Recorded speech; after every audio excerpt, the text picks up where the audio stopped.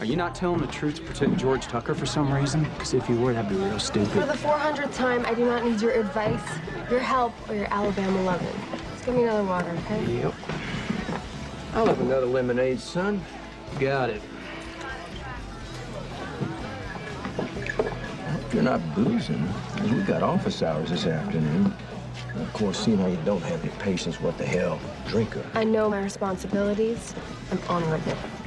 Brick, I I just spoke to a guy down at WBMA. He said the radio station wants to do a story about you for saving Oscar Balderrama. Well, that sounds good, Tom. How dare you? Excuse me? How can you stand there and take credit for something that I did? If you would have been there alone yesterday, that man would be one-armed or worse. You know damn well that I was the brains behind that procedure. You were simply my assistant. Dr. Brick Breeland is no one's assistant. Most certainly not some arrogant New York newbie. I may be a newbie, but I am also a surgeon. And like it or not, I was useful yesterday. You know how much it would mean to me to finally prove myself. You know that I need patients to hold on to my father's practice. But you are a prideful, southern man who can't admit that he had to defer to a woman. Ms. Hart, that is my practice too. One that I have worked a long time for, one that I deserve to have all to myself. And yes, you may have led the way on that cut down, but that is not all that happened out there.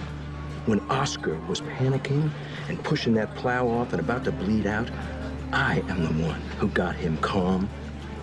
And I am the one who went to the hospital and stayed with him.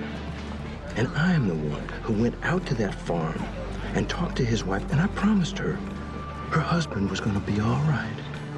That his arm was going to be all right. That their farm was going to be all right. I don't recall seeing you out there.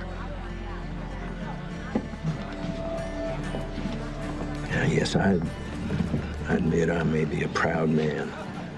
And maybe I did take credit for a procedure I didn't wholly do.